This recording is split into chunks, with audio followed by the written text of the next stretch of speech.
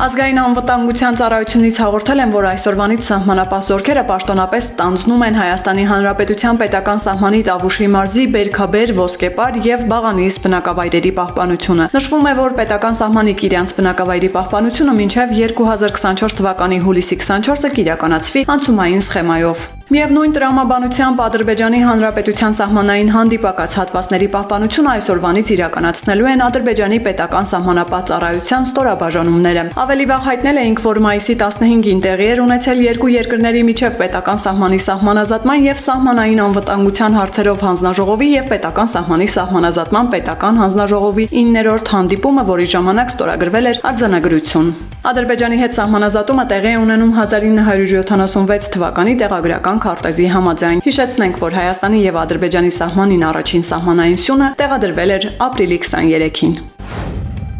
Հանրապետության 1547 կրթական հաստատությունում այսօր եւ վաղ անցկացվում է վերջին զանգի կամ վերջին դասի միջոցառումը։ Ոստիկանությունից հայտնել են, որ որևէ ներողամտություն չի ցուցաբերվելու օրինազանցության նկատմամբ հասարակական կարգի խախտումները կանխվելու են տեղում։ Օրինազանցների ավտոմեքենաները տեղափոխվելու են հատուկ պահպանվող տարածք։ Իրավախախտները ենթարկվելու են պատասխանատվության։ Նշենք, որ ոստիկանության հաղորդմամբ արդեն իսկ մի քանի տասնյակ մեքենաներ են տեղափոխվել հատուկ պահպանվող տարածքներ։ Ձերբակալվել է Լեռնային Ղարաբաղի Ասկերանի քաղաքապետ եղած Հայկ Շամիրյանը։ Միջնորդություն է ներկայացվել դատարան նրան կալանավորելու վերաբերյալ։ Փաստաբան Ռուբեն Մելիքյանը հայտնել է, որ նրա բնակարանում խուզարկություն է իրականացվել։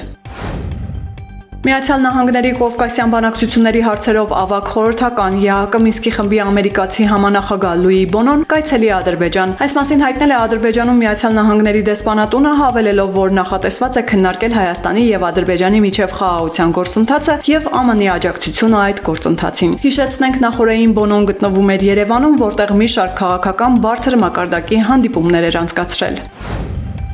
Իրանի զինված ուժերի գլխավոր շտաբը հրապարակել է Իրանի նախագահ Էբրահիմ Ռայիսիի ուղաթիռի կործանման հետաքննության նախնական արդյունքները։ Նշվում է, որ ուղաթիռի վրա կրակոցների հետքեր չեն հայտնաբերվել։ Հետաքննությունը ցույց է տալիս, որ նախագահ Ռայիսիի կործանված ուղաթիռը բռնկվել է օթում բարձրություն հավաքելիս լեռանը բախվելուց հետո։ Կարճ ժամանակում վթարի ենթարկված ուղաթիռի օթաչուն կարողացել է կապ հաստատել մյուս երկու ուղաթիռների օթաչուների հետ, այնուհետև կապը կորել է։ Հաղորդվում է, որ անձնակազմի զրույցների ձայնագրություններում կասկածելի հարցեր չեն նկատվել։ Նախագահ Էբրահիմ Ռայիսին, նախարար Հոսեյն Ամիր Աբդոլլահյանին եւ այլ պաշտոնյաների տեղափոխող ուղղաթիռը կործանվել էր Իրաքի օրը մայիսի 19-ին։